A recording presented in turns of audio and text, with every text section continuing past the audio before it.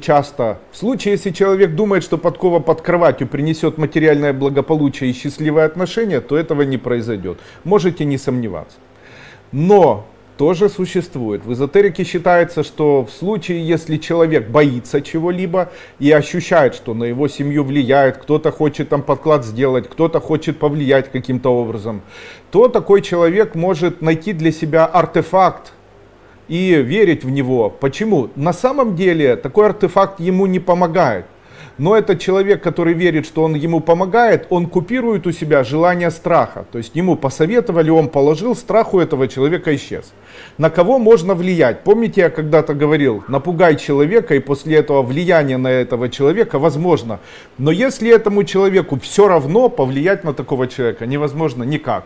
То есть, если человеку все равно, если человек ни на что не обращает внимания, если человек говорит, тьфу на тебя, все равно, тю, что за ерунда, то повлиять на человека невозможно никаким образом. То есть, кто бы что ни делал, если нет дополнительных каких-либо предметов, то есть, как можно повлиять на человека? Взять его вещь, взять части его ткани, там, а, волос или слюны, собрать еду, которую он оставил на тарелке. Кстати, не оставляйте еду на тарелке, можно счастье у человека забрать. Когда едите где-либо в столовой, там, в ресторане или еще где-то, обязательно плюньте в тарелку, тихонечко можете на салфетку или в тарелку плюньте и положите сверху салфетку. Скажите при этом мной заплачено, все мое.